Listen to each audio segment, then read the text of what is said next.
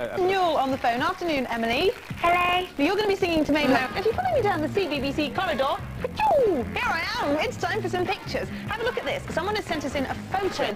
Have a look at this one over here. This is the pictures. And then Catherine sent us in a picture here of just a photo to this show on the telly.